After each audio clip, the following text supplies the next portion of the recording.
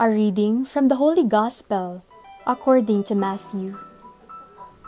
Jesus told his disciples this parable The kingdom of heaven will be like ten virgins who took their lamps and went out to meet the bridegroom. Five of them were foolish, and five were wise. The foolish ones, when taking their lamps, brought no oil with them, but the wise brought flasks of oil with their lamps. Since the bridegroom was long delayed, they all became drowsy and fell asleep.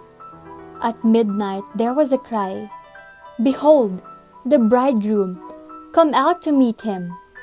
Then all those virgins got up and trimmed their lamps. The foolish ones said to the wise, Give us some of your oil, for our lamps are going out.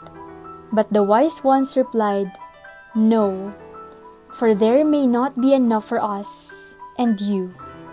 Go instead to the merchants and buy some for yourselves.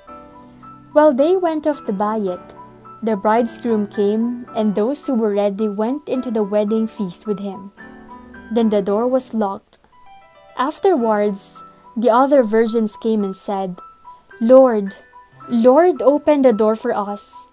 But he said in reply, Amen, I say to you, I do not know you. Therefore, stay awake, for you know neither the day nor the hour. The Gospel of the Lord. Lighting our lamps. The Gospel describes for us how we enter the kingdom of heaven. Jesus' kingdom parable, one of the ten virgins, is drawn from the customary wedding practices in Palestine. The bridesmaids are tasked with receiving and accompanying the bridegroom to the wedding feast. It is customary to celebrate it at night. Thus, the bridesmaids have to be equipped with lamps. We all know well the parable. Five are wise, and five are foolish. The foolish do not bring along any additional oil. As the bridegroom is delayed, they fall asleep. At midnight, the bridegroom comes. The wise go in with him to the banquet. The foolish are late and miss their opportunity. They remain outside. Pope Francis asks, What does Jesus want to teach us with this parable? He reminds us that we must be ready for our encounter with Him. He tells us that to watch doesn't mean only not to sleep, but to be ready. In fact, all the virgins slept before the bridegroom's arrival. But when they awakened, some were ready and others not.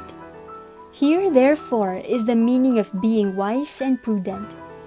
It's about not waiting for the last moment of our life to collaborate with God's grace, but to do so already and from now on. It would be good to think a bit. One day will be the last. If it were today, how prepared am I? The lamp is the symbol of faith that illumines our life, while the oil is the symbol of the charity that nourishes, makes fruitful, and credible the light of faith.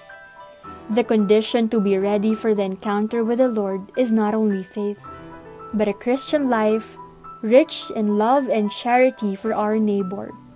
If we let ourselves be guided by what seems to us more comfortable, by the pursuit of our interests, our life becomes sterile, incapable of giving life to others, and we don't accumulate any oil stock for the lamp of our faith. And the latter, faith, will go out at the moment of the Lord's coming, or even before. If instead we are vigilant and we seek to do good, with gestures of love, of sharing, of service to our neighbor in difficulty, we can remain at peace while we await the coming of the bridegroom. The Lord can come at any moment, and even the sleep of death does not scare us, because we have the reserve of oil accumulated with the good works of every day. Faith inspires charity, and charity guards faith. Pope Francis concludes his reflection saying, May the Virgin Mary help us to make our faith ever more operative through charity so that our lamp can shine already here on our earthly journey, and then forever at the wedding feast in paradise.